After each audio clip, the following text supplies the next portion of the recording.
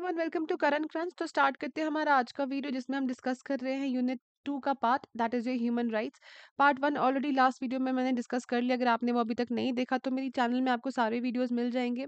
And if you want PDF of my lecture तो आप Telegram group join कर सकते हैं मेरा जिसका लिंक अगेन आपको डिस्क्रिप्शन बॉक्स में मिल जाएगा.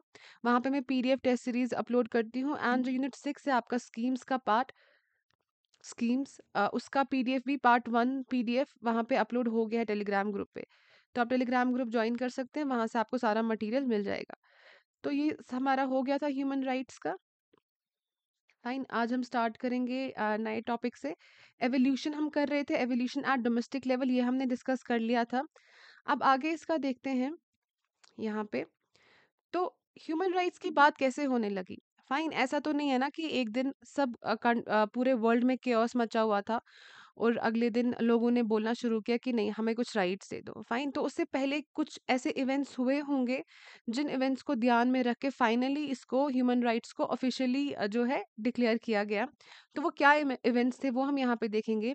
Many important events and revolutions contributed towards the development of human rights ठीक है? पहला है आपको the earliest charters of human rights are to be found among three British constitutional documents तो ब्रिटेन के तीन कॉन्स्टिट्यूशनल डॉक्यूमेंट्स में आपको मिलेंगे earliest charters of human right that mean जो earliest articles of human right है या जो पहली सबसे कहीं पे रिटर्न फॉर्म में ह्यूमन राइट्स को लाया गया था, वो आपको ब्रिटिश कॉन्स्टिट्यूशनल डॉक्यूमेंट्स में मिलेंगे, जिनको हम बोलते हैं मैग्ना कार्टा काफ़ी इंपॉर्टेंट है ये मैग्ना कार्टा नाम, आपके एग्ज़ाम में आने के चांसेस हैं। Petition of rights 1628 and bill of rights ये जो बिल ऑफ़ राइट्स है, इसको अडॉप्ट किया गया था after the glorious revolution of 1688 ठीक है?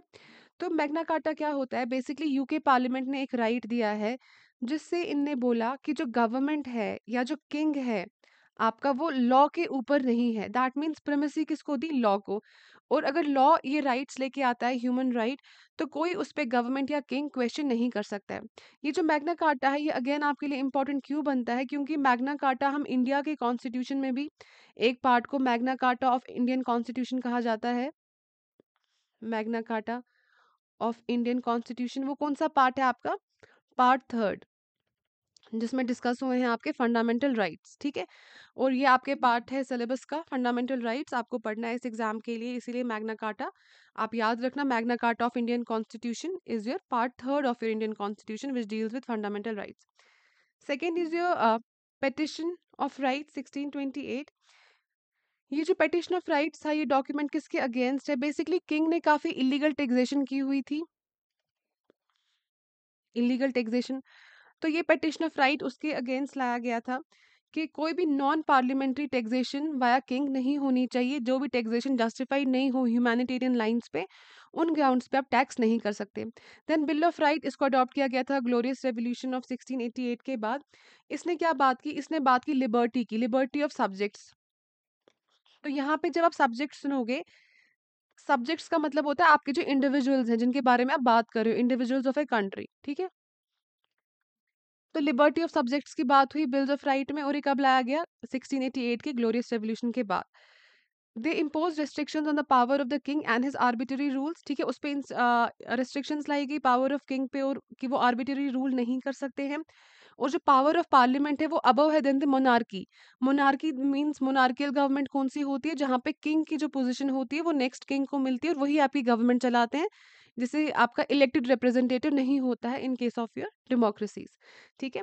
तो इन्होंने क्या किया? इन्होंने इम्पोज की restrictions on the power of the king और उसके आर्बिटरी रूल पे और ये कहा जो पावर है पार्लियामेंट का, वो पावर बड़ा है, जो पावर ऑफ़ पार्लियामेंट है it is more than the power of your king और it is more than your monarchy ठीक? तो इसको हम बोलते हैं glorious revolution following the revolution of parliament जब ये रेवोल्यूशन हुआ था, उसके बाद parliament pass the bill of rights in 1689 इस बिल ने और क्या किया था? जो भी क्राउन को पावर मिले थे सस्पेंड करने के लिए suspending and dispensing of a statute या जिसको आप लॉ भी बोलते हो ऑफ़ द पार्लियामेंट वो सस्पेंड करने के पावर उसको मिले थे तो वो पावर्स जो है बिल ऑफ़ राइट से खत्म हो गए थे, ठीक है? तो ये हुआ आपका थोड़े इवेंट्स जो पहले हो रहे थे, जिसकी वजह से ऐसे लोगों को लगा कि नहीं, थोड़ा ह्यूमैनिटी के पर्सपेक्टिव पे बात होनी चाहिए। अभी भी हम एक ऑफिशियल डॉक्यूमेंट की तरफ़ नहीं आए हैं, ऑफिशियल प्रोक्लेमेशन अभी तक ह्यूमन राइट्स की नहीं हुई है, बस बैकग्राउंड में ऐसे कुछ इवेंट्स हो रहे हैं कि लोगों के अंदर ये थॉट प्रोसेस आ रहा है कि अगर कोई किंग है, दैट मीन्स किंग की बात जो है वो पत्थर की लकीर नहीं है, वो बात आप चेंज कर सकते हो, कोई पार्लियामेंट है, कोई लॉ है, और वो लॉ किसके फेवर में होगा? वो लॉ लेके आएँगे अपने सब्जेक्ट्स के लिए। दैट मीन्स आपके सिटीजन्स के लिए कुछ लॉ बनाए जाएँगे और ये सारी चीज़ें हम सोसाइटी में कर सकते हैं। अभी बस ऐसा थॉट प्रोसेस चल रहा है। आगे देखते हैं इंपॉर्टेंट डिक्लेरेशन ऑफ़ राइट्स अब देखो आगे क्या हुआ? Late seventeen and eighteen century में लोगों को ऐसा लगा कि नहीं, कोई हमें रिटर्न गारंटी चाहिए of human freedom that means अगर आप ह्यूमैनिटी की बात कर रहे हो, ये सारी बातें सामने आ रही हैं, जो हमने देखा, वो कहाँ से आई थी आपके मैग्ना कार्टा से पेटिशन ऑफ़ राइट से बिल ऑफ़ राइट से, ठीक है? इन सबसे आप क्या कर रहे हो? ह्यूमैनिटी की बातें कर रहे हो। अब लोगों को ये रियलाइज़ होने लगा, नहीं we have to take a next step forward and now we want certain written guarantees of human freedom ठीक है तो अब इनको रिटर्न फॉर्मेट में सारी चीज़ें चाहिए थी। एंड अकॉर्डिंगली हमारे पास क्या आए, कुछ हिस्टोरिकल डॉक्यूमेंट्स आए, जैसे वर्जीनिया डिक्लेरेशन ऑफ़ राइट आया, अमेरिकन डिक्लेरेशन ऑफ़ इंडिपेंडेंस आया, French declaration of rights of man and citizen आया, एंड लास्टली आपका है अमेरिकन बिल ऑफ़ राइट्स। ठीक तो the American declaration of independence है, इसमें क्या आइडिया इसमें क्या बातें हुई? It contains the ideas of human rights such as that all man are created equal ठीक है? तो जब सारे लोगों को इक्वल क्रिएट किया जाएगा तो उनको ये लिबर्टी जो मिलेगी और जो हैप्पीनेस उनको दुनिया में मिलनी चाहिए, उस पर भी आपको इक्वालिटी रिफ्लेक्ट करनी चाहिए। हर किसी के पास इक्वल राइट है अपनी लिबर्टी और फ्रीडम एंजॉय करने का। ये सारी बातें अमेरिकन डिक्लेरेशन ऑफ़ इंडिपेंडेंस से सामने आई। वर्जीनिया डिक्लेरेशन ऑफ़ राइट से क्या हुआ? It included specific rights that were to be protected from state interference कि आपको जो सब्जेक्ट्स हैं, आपको उनको स्टेट इंटरफेरेंस से प्रोटेक्ट करना पड़ेगा। ये बात कहाँ पे आई? ये वर्जीनिया डिक्लेरेशन में आई। देखो अब आपको इस एग्ज़ाम के लिए क्या करना होगा? जो ये ईयर्स हैं साथ साथ कि कौन सा डिक्लेरेशन ऑफ़ राइट जो है कौन सा डॉक्यूमेंट किस ईयर में आया था ये ईयर्स भी आप याद कर लोगे। जो French declaration of rights of man and citizen in 1789 इसने क्या किया था? इसने रिकॉग्नाइज किया that all man are born equal and state shall preserve the natural rights of man which are liberty property security and resistance to oppression etcetera तो French declaration of rights of man and citizen में ये सारी बातें आई। जो हमारे constitution में free equality की बात हम करते हैं इक्वालिटी लिबर्टी फ्रेटर्निटी तो ये सारी चीज़ें हमने फ्रेंच कॉन्स्टिट्यूशन से ही ली हुई हैं। ठीक है? वो लिबर्टी इक्वालिटी वो सारा हमने कहाँ से लिया हुआ है? फ्रेंच कॉन्स्टिट्यूशन का ही कॉन्सेप्ट है, जो इंडियन कॉन्स्टिट्यूशन ने अपने अंदर अडॉप्ट किया हुआ है। तो ये सारी चीज़ें एंड बोल्शेविक रेवोल्यूशन हुआ था 1917 में ऑफ़ सोवियत रशिया ये भी it was also also milestone in the development of modern concept of rights इसमें क्या किया था? इसमें कॉन्सेप्ट लाया था socio economic dimension of rights का।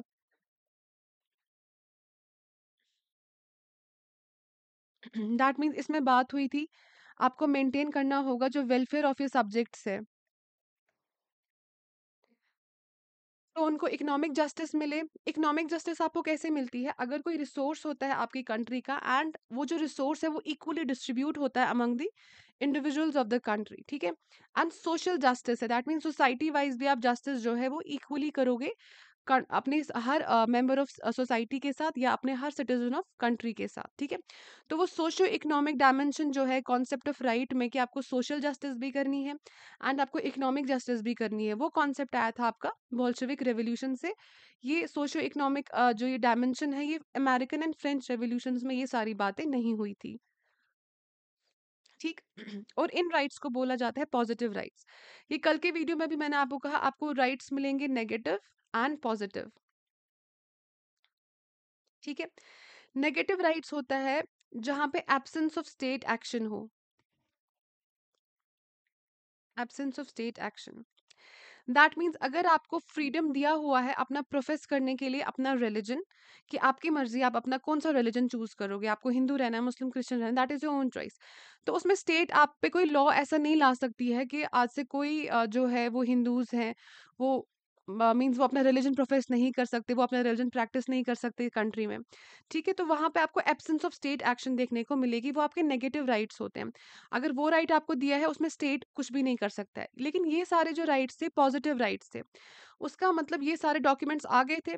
अब इन डॉक्यूमेंट्स को एक्चुअली इम्पैक्टफुल बनाने के लिए या इन डॉक्यूमेंट्स को एक्चुअली ऑफिशियली डिक्लेयर करने के लिए गवर्नमेंट के पास क्या था? उनके पास अथॉरिटी थी कि वो लॉ बनाए इस इन चीज़ों को लेके।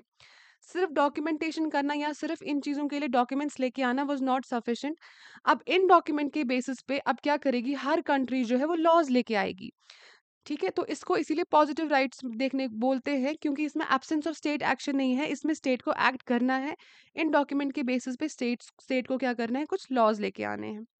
Thus, it should be acknowledged that each of these declaration events and revolutions discussed above have made important contribution in advancing and shaping the concept of human rights.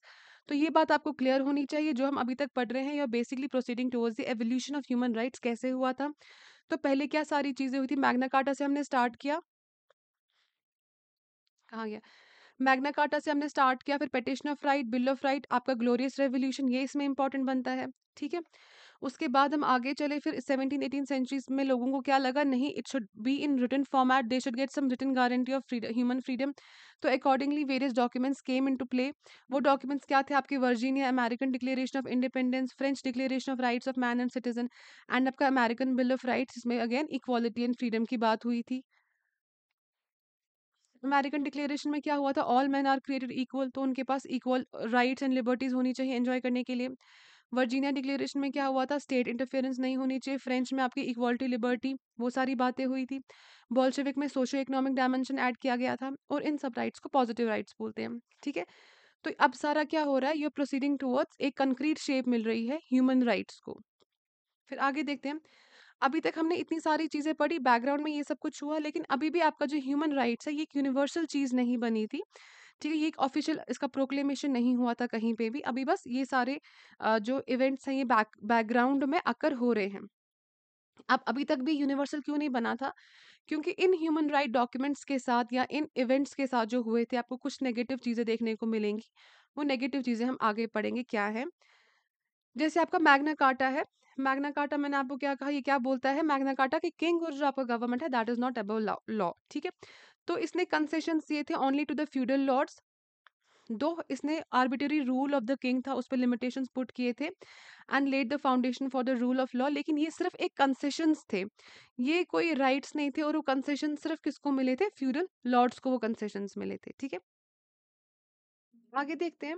जो American declaration bill of rights है, ये applicable था सिर्फ़ एक category of लोगों के लिए, ठीक है? जो इन्होंने इसमें क्या बात करी थी? इन्होंने इसमें कहा था कि human all human beings are born equal etcetera etcetera वो सारी लिबर्टी एंड इक्वालिटी की बातें हुई थी। लेकिन वो सिर्फ़ एक कैटेगरी ऑफ़ लोगों के लिए था जिनको हम वास्प बोलते हैं। इसमें डब्ल्यू से आपके वाइट्स हो गए ए एस आपके एंग्लो सेक्सन्स हो गए एंड आपके प्रोटेस्टेंट्स हो गए। तो whites you know Anglo Saxon होते हैं, वो लोग जो फिफ्थ सिक्स सेंचुरी के अराउंड आपके इंग्लैंड एंड वेल्स में रहते थे, north west England and Wales में। एंड प्रोटेस्टेंट आपकी जो क्रिश्चियनिटी है, उसके अंदर भी आपको डिफरेंट सेक्ट्स मिलेंगे, जैसे हर रिलीजन में होते हैं। इस पे आपको प्रोटेस्टेंट देखने को मिलेंगे एंड कैथोलिक्स। कैथोलिक्स होते हैं जो ज़्यादा प्रीस्ट ओरिएंटेड या जो ट्रेडिशनल लोग होते हैं, जो स्टेटस को मेंटेन रखते हैं, ठीक है? एंड जो उनको प्रीस्ट बताता है, वो उनके लिए रिलीजन है। लेकिन प्रोटेस्टेंट्स हैं जो थोड़े फ्रीडम ओरिएंटेड लोग हैं, ठीक है? जिनका फोकस इंडिविजुअल गुडनेस पे भी रहेगा, ठीक है? तो इन सारे लोगों के लिए लेके आए थे bills of rights and American declaration में इन लोगों की ही बात हुई थी और ये एक जो है वो ग्लोबल ऐसे कोई बात नहीं करी थी इन लोगों ने। तो ये हम सारे अभी नेगेटिव्स देख रहे हैं इन डॉक्यूमेंट्स के। जो स्लेव्स हैं इनके लिए कोई राइट नहीं था यूएसए में until slavery was finally abolished in 1864 और जो राइट ऑफ़ वुमेन है were not a part of the conception of right at the time of American revolution तो मैंने कहा जो freedom and all man are born equal ये सिर्फ़ एक कैटेगरी के लिए था। आपने स्लेव भी स्लेवरी भी अभी तक अबॉलिश नहीं करी थी और राइट्स ऑफ़ वुमेन पे भी आप कोई बात नहीं कर रहे थे। Similarly French revolution was more it all though it was more egalitarian egalitarian means जो आपका इक्वालिटी की बात करेगा अमेरिकन से थोड़ा ज़्यादा इसने इक्वालिटी की बात की थी लेकिन the question of right of women was raised only to be quickly suppressed and slavery was abolish only to be restored by Napoleon तो नेपोलियन बोनापार्ट वहाँ के रूलर थे। उन्होंने स्लेवरी को दोबारा से वहाँ पे रिस्टोर करवाया था अबॉलिश करने के बाद और ऑल द फ्रेंच रेवोल्यूशन में राइट्स ऑफ़ वुमेन की बात हुई थी लेकिन फिर उसको फिर से सप्रेस किया गया था। Moreover, Western states like UK and France, it did not extend the notion of rights to the subject people in their colonies तो हमें पता है ये यूके एंड फ्रांस ये इंपीरियल पावर्स थे, ठीक है? इंडिया भी यूके की ये रह चुकी है कॉलोनी फ्रेंच कॉलोनी भी इंडिया में रही से पौंडीचेरी आपकी फ्रेंच कॉलोनी थी. फाइन तो जो ये बातें अपनी कंट्रीज़ में करते थे इक्वालिटी की एंड राइट्स की, लिबर्टी की, वो बातें इन्होंने कॉलोनीज़ में नहीं करी। तो वहाँ पे भी आपको इनकी डिप्लोमेसी देखने को मिलेगी। तो ये सारे क्या हैं, ये इनके ड्रॉबैक्स हैं। तो हम अभी तक क्या डिस्कस कर रहे थे? हम डिस्कस कर रहे थे कि क्या वजह थी अभी तक ये जो डॉक्यूमेंट्स हमने पढ़े और ये जो राइट्स की बातें हो रही थी, ये यूनिवर्सल नहीं हुई थी। ये क्यों अभी तक यूनिवर्सल नहीं हो रही थी? क्योंकि इनके साथ काफ़ी ड्रॉबैक्स एसोसिएटेड थे और वो ड्रॉबैक्स हमने सारे यहाँ पे डिस्कस किए। आगे देखते हैं। फिर फाइनली क्या हुआ? इंटरनेशनल एफर्ट्स लिए गए डेवलप करने के लिए ह्यूमन राइट नॉर्म्स को। Following are the some major landmark developments at the international level जिनको लाया गया था for the protection of human rights on the agenda of international politics and law और ये जो आगे एफर्ट्स हुए थे, इनके बाद एक कंक्रीट शेप दी गई थी किसको? ह्यूमन राइट्स को। अब ये जो हम यहाँ पे डिस्कस कर रहे हैं वही सारे एफर्ट्स हैं कि क्या हुआ हो रहा था, ग्लोबल लेवल पे इंटरनेशनल एफर्ट क्या पुट किए गए थे कि फाइनल एक शेप मिले आपके ह्यूमन राइट्स को। तो हमने कहाँ से स्टार्ट किया था? पहले आपका वो मैग्ना कार्टा वाला कॉन्सेप्ट था, ठीक है उसमें bill of right, petition of right, glorious revolution हुआ। उसके बाद अगेन ऐसे कोई डॉक्यूमेंट्स लाए गए जहाँ पे इंटरनेशनलाइज करने की कोशिश की गई थी आपके ह्यूमन राइट्स को। कि ये बातें थोड़ी, आप उनको क्या करो, एक रिटर्न गारंटी जो है ऑफ़ ह्यूमन फ्रीडम वो दे दो। उसमें Virginia declaration American declaration French declaration Bolshevik ये सारी बातें हुई। लेकिन इसके बावजूद अभी तक एक यूनिवर्सल कैरेक्टर नहीं दे पाए थे ह्यूमन राइट्स को, क्योंकि इनके साथ कुछ नेगेटिव एसोसिएटेड थे। फिर फाइनली इंटरनेशनल लेवल पर कुछ एफर्ट्स लाए गए। डेवलप करने के लिए ह्यूमन राइट नॉर्म्स को एंड वो इंटरनेशनल एफर्ट्स क्या थे, वो हमें अब देखने हैं। पहले था ह्यूमैनिटेरियन इंटरवेंशन। देखो इसका क्या मतलब होता है, अगर कोई स्टेट स्टेट यहाँ जहाँ भी लिखा होता है, दैट रिप्रेजेंट्स योर कंट्री। ठीक है, जहाँ पे कैपिटल एस वाला स्टेट लिखा होगा, उसका मतलब एक कंट्री होता है। अगर स्मॉल एस वाला स्टेट लिखते हैं तो स्मॉल एस का मतलब आपकी स्टेट, जैसे जे एंड के हो गया, पंजाब हो गया, ठीक है, वो आपकी स्टेट्स है। जहाँ पे आप कैपिटल एस देखोगे, वो रिप्रेजेंट करेगा एक कंट्री को। तो अगर कोई कंट्री अपने ही सिटीजन्स के साथ कोई जुल्म कर रही है, एक्सप्लॉयटेशन कर रही है तो इंटरनेशनली बाकी कुछ कंट्रीज़ मिलके उसके खिलाफ क्या कर सकती हैं? एक्ट कर सकती हैं बाय यूज़ ऑफ़ फोर्स, ठीक है? तो doctrine recognize as a lawful use of force, अगर वो फोर्स यूज़ करेंगे, वो लॉफुल होगा। कौन फोर्स यूज़ करेगा? बाय वन और more state to stop the maltreatment of, by a state of its own nationals. That means अगर कल को कोई भी एक कंट्री ले लेते हैं, श्रीलंका, अगर अपने इसके खिलाफ, अपने लोगों को क्या करेगी, माल ट्रीटमेंट करेगी इन लोगों की तो कोई एक कंट्री वर्ल्ड वाइड ठीक है, वो मिल के दो, एक दो कंट्रीज़ वहाँ पे लॉफुली फोर्स यूज़ करके उस माल ट्रीटमेंट को स्टॉप कर सकते हैं। ठीक है? तो इसको हम बोलते हैं humanitarian intervention that means humanitarian grounds पे बाकी कुछ कंट्रीज़ इंटरवीन करेंगी। अब ह्यूमैनिटेरियन इंटरवेंशन को काफ़ी बार मिसयूज़ भी किया गया जैसे लीबिया में मोहम्मद गद्दाफ़ी की गवर्नमेंट को फ़ोर्सफुली उनको ये ख़त्म किया गया कि ये अपने नेशनल्स को एक्सप्लॉइट कर रहे हैं। तो अगर कोई कंट्रीज़ मिलके चाहें कि वो एक कंट्री को ख़त्म करना ह्यूमैनिटेरियन इंटरवेंशन पे वहाँ पे लॉफुल यूज़ कर सकते हैं।